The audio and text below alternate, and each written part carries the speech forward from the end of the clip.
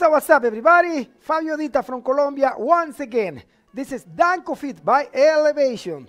More surprises for you guys. Today, we're gonna work with gallons of water. Simple, cheap, and you can use it anywhere, right? So, today we're gonna do some highways, jumping jacks. We're gonna do some press lunge. We're gonna have some standing crush.